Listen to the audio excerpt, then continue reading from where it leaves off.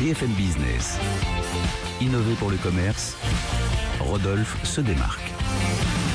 Rodolphe Bonas, PDG de CACOM, qu'on accueille comme toutes les semaines. Bonjour Rodolphe. Bonjour Karine. Alors, dans votre petite balade à travers le monde, vous n'êtes pas allé très loin cette semaine, vous êtes allé en Hollande, l'autre pays du fromage. Exactement, je suis allé en Hollande attraper un rhume, mais je suis quand même allé en Hollande. Je suis allé à Alkmaar, qui se situe à une quarantaine de kilomètres au nord d'Amsterdam, visiter, vous savez, l'antithèse de ce qu'on a l'habitude de traiter ici, puisqu'on parle souvent des Amazones, des Walmart et des Sephora. Là, on va parler de Jan Kahn, un maître fromager situé sur la place de Alkmaar et qui en effet, je vous entends là, le Edam, le Masdam ou le Gouda, qui soit vieux ou jeune.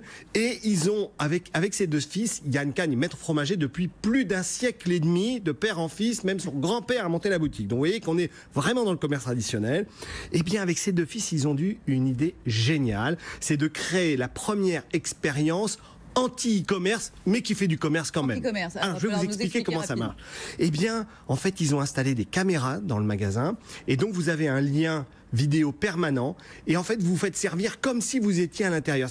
C'est fini le e-commerce où on clique sur des photos de produits, etc. Là, on parle à Yann, le propriétaire du magasin, qui en vidéo vous présente la meule de Gouda, vous la découpe, vous la met en papier et vous dit très bien, je vous l'envoie par la poste. Et donc là, vous êtes devant votre écran. Et vous êtes devant votre écran et vous discutez avec lui. Il est très drôle, le garçon. Il fait plein de, plein de dingue. petites blagues. Ses deux euh, fils euh, euh, sont derrière et c'est eux qui ont monté le deal avec ABN AMRO, qui est une, une, une banque hollandaise.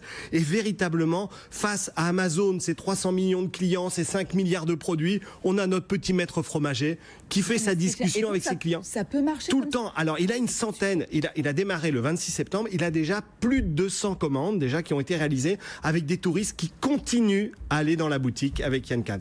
Le seul problème, Karine, il manque l'odeur, bien évidemment. Ah bah ouais, c'est ça le problème. La cas, prochaine fois. C'est génial comme idée. Merci beaucoup Rodolphe. Merci. Karine. À la semaine prochaine.